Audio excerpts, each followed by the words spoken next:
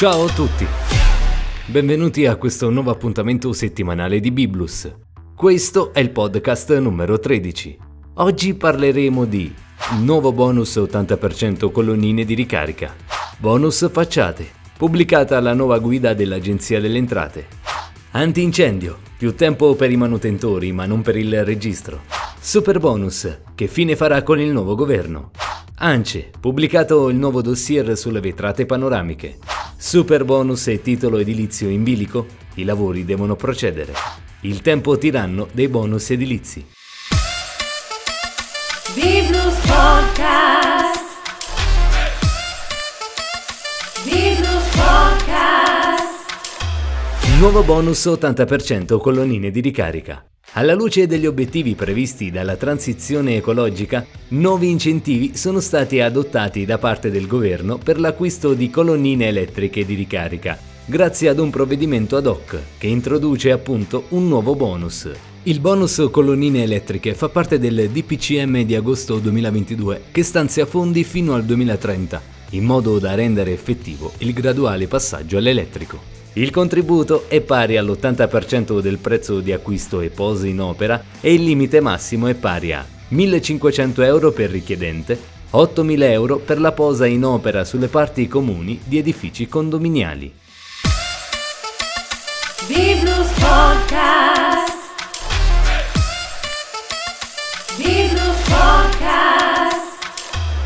Pubblicata la guida dell'Agenzia delle Entrate aggiornata a settembre 2022 sul bonus facciate. Il documento intende fornire le indicazioni utili per richiedere correttamente il bonus facciate, illustrando modalità e adempimenti. Ricordiamo che il bonus facciate prevede una detrazione del 60% per l'anno in corso, in riferimento alla realizzazione di interventi di recupero o restauro delle parti esterne di edifici esistenti.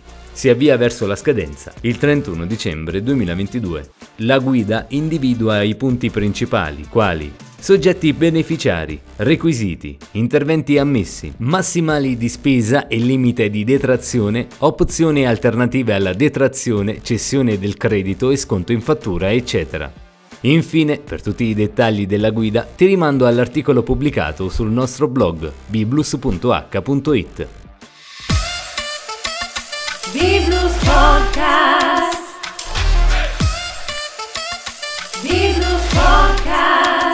Antincendio, più tempo per i manutentori, ma non per il registro. Il nuovo DM 15 settembre 2022 ha disposto una proroga di un anno per ciò che riguarda le disposizioni relative alla qualificazione dei tecnici manutentori. Ricordiamo che dal 25 settembre sono scattati una serie di adempimenti cui sono chiamati a rispondere tutti i datori di lavoro. Infine ti rimando all'articolo pubblicato sul nostro blog biblus.h.it per scoprire tutti i dettagli. Biblus Podcast. Biblus Podcast. Super bonus, che fine farà con il nuovo governo? A distanza di tempo dalle elezioni e in attesa della formazione del nuovo governo, ci si chiede che fine farà il super bonus, se sarà riconfermato, rimodulato o completamente abolito. Stando alle prime voci degli esponenti della nuova maggioranza, si starebbe iniziando a parlare di super bonus e come potrebbe cambiare con la prossima manovra. Voci di corridoio riportano che si starebbe ragionando sul riordino dei bonus edilizi, lasciando spazio ad una detrazione più contenuta, tra il 60 e il 70%, piuttosto del 110%, garantendo così una vita più longeva della detrazione e che peserebbe di meno sulle casse dello Stato.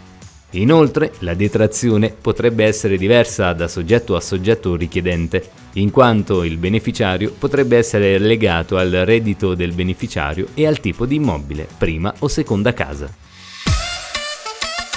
Biblus Podcast.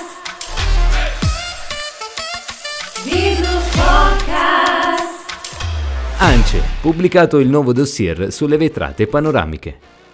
Non sono più necessari i permessi da parte del comune per l'installazione di vetrate panoramiche amovibili, VEPA. Ricordiamo che tali vetrate permettono di migliorare le prestazioni energetiche di un'abitazione. contribuendo all'isolamento termico dell'immobile e di ridurre i consumi. Si è calcolato che l'uso delle VEPA può portare ad un risparmio del 30% in bolletta in un anno. In merito a questa importante novità si è espressa l'ANCE con la pubblicazione di un dossier che fornisce un quadro dettagliato in merito alla liberizzazione delle VEPA. In particolare viene esaminato in rapporto con la normativa paesaggistica, i piani urbanistici ed i regolamenti condominiali. Il dossier definisce le caratteristiche indicate dalla normativa, il rapporto con le prescrizioni dei piani urbanistici, il rapporto con il DPR numero 31 2017, il rapporto con le prescrizioni dei regolamenti condominiali, il recepimento delle regioni a statuto speciale e province autonome.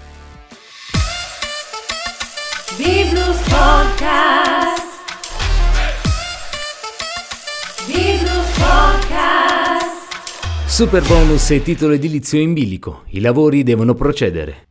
Dopo i primi interventi in merito al super bonus da parte dei tribunali, questa è la volta del TAR Campania a Napoli, che, con il decreto numero 1640-2022, si è espresso in merito alla questione riguardante il permesso di costruire bloccato dal comune. La pratica di un permesso di costruire arenatasi in comune è la protagonista di una vicenda a sfondo super bonus, la famigerata detrazione al 110%. La titolare avrebbe voluto sfruttare il PDC per una demolizione e ricostruzione agevolata al 110%, ma il comune ne bloccava la pratica per i dovuti accertamenti, a causa della dislocazione dell'immobile in zona di rispetto cimiteriale, di impedimenti al rilascio dell'autorizzazione sismica dal genio civile. Il giudice del TAR di Napoli, con un breve intervento, onde scongiurare i gravi danni alla ricorrente che sarebbero conseguiti per l'attesa del compimento delle varie procedure di accertamento amministrative del comune, ritengono di appoggiarla. Per cui il TAR decide di sospendere i provvedimenti dell'ente territoriale in favore di una ripresa di quei lavori da completare appunto entro il 30 settembre 2022 affinché la ricorrente non perda l'agevolazione del superbonus. Il ricorso è quindi accolto.